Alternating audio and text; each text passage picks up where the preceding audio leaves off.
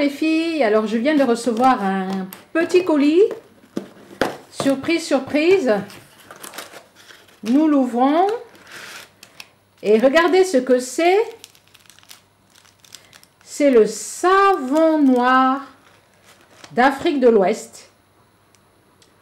Je l'ai commandé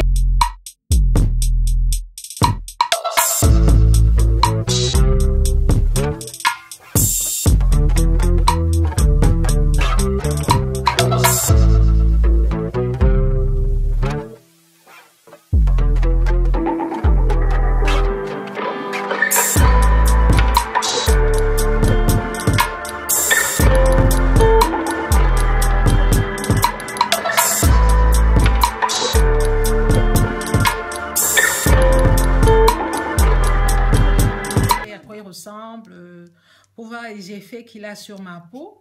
Je vais le tester une seule fois parce que j'ai peur euh, de la réaction. Je ne sais pas trop quel genre de savon c'est. Alors voilà comment j'ai reçu. Il se présente comme ceci, dans un emballage comme ça. Je l'ai commandé sur Amazon, sur un site internet. Et il m'est arrivé du Royaume-Uni, donc de l'Angleterre. Voilà.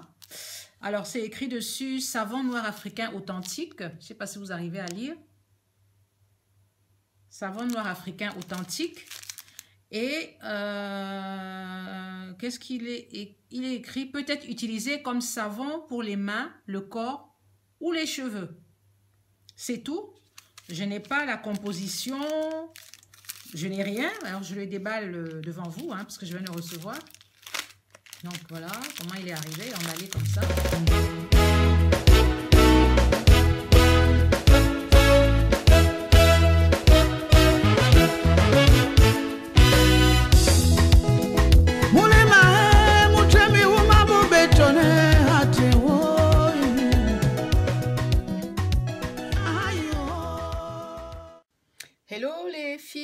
Alors j'essaye le savon noir d'Afrique de l'Ouest. Je me lave le visage avec ça. Hmm, j'espère que ça va pas me faire des petits trucs sur ma peau.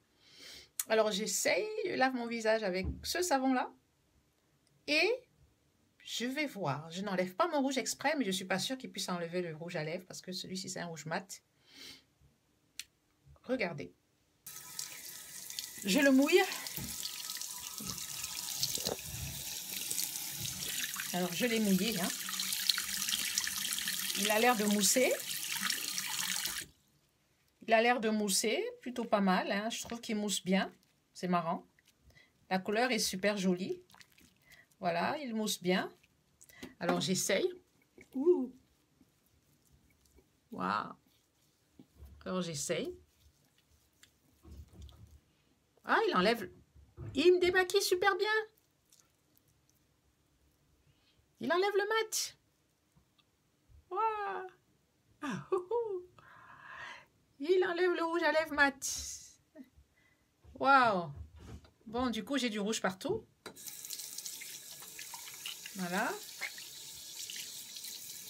il a l'air de bien enlever le mat. Bon, j'enlève le rouge à lèvres. Ah oui, oui. Déjà, c'est déjà un bon point. Ouais, ça doit ressembler au savon de Macabo, hein, donc ça doit avoir un effet asséchant sur la peau, je suppose. Voilà, bon, j'en rajoute un petit peu, mais déjà, je trouve qu'il mousse bien. Voilà, il mousse bien, il n'est pas friable. Au départ, je pensais qu'il était friable, mais non. Je recommence un peu. Mhm. Ouh, mon Dieu, il pique pas. C'est vraiment comme le savon de Macabo, hein. C'est... Alors, je rince mon visage. Hein. Voilà. Je rince mon visage.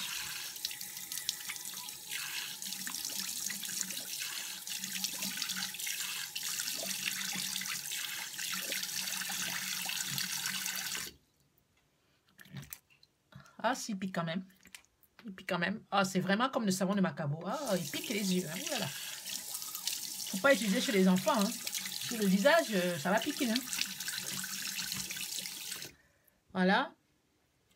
Ouf. Il sent vraiment comme le savon de... Ah ouais. Avec tout de suite la peau, il change. Hein? Ah ouais. Bon. Je vous n'ai même pas démaquillé ma peau. Hein. J'ai essayé. Voilà. Ah ouais. Ah ouais. Alors la peau, elle est tout de suite, elle a changé. Hein. Voilà les filles, j'ai fini avec euh, le savon d'Afrique de l'Ouest. Vous voyez, ça m'a fait des petites taches blanches, enfin des marques blanches. Je pense que c'est parce que ça assèche énormément la peau, hein, ça tire. Moi, euh, j'enlève les lunettes quand même pour que vous voyez. Donc euh, là, ça fait un peu blanc, un peu blanc. Bon, rien de grave. Je ne sais pas si c'est moi qui ai l'impression que ça me brûle autour de... de, J'ai l'impression que ça me brûle un peu le visage. Là, ça chauffe un peu. Ça chauffe euh, là autour. Et donc, je ne sais pas. Je vais mettre de l'aloe vera avant de dormir parce que j'espère ne pas avoir une surprise demain. Ben, demain, je vous dirai. Mais ça me chauffe un peu.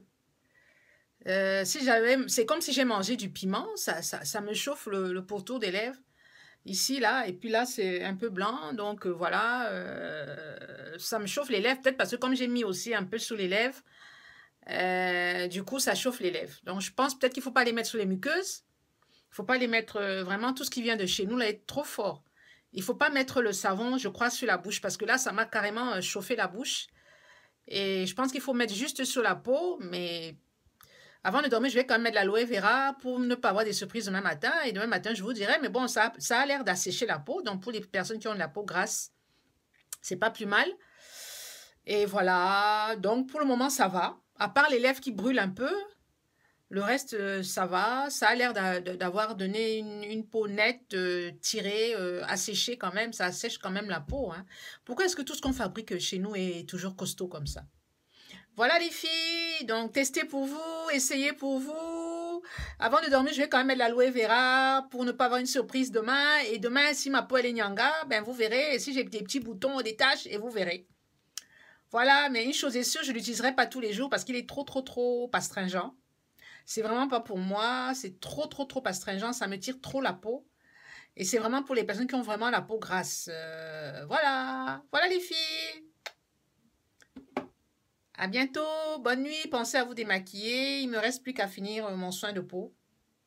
Bonne soirée.